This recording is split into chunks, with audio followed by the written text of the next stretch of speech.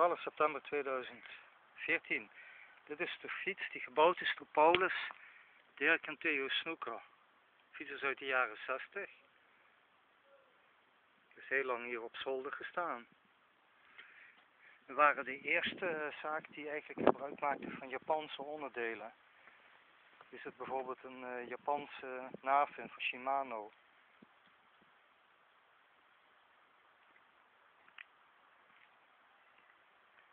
Deze fiets is ook eenmalig.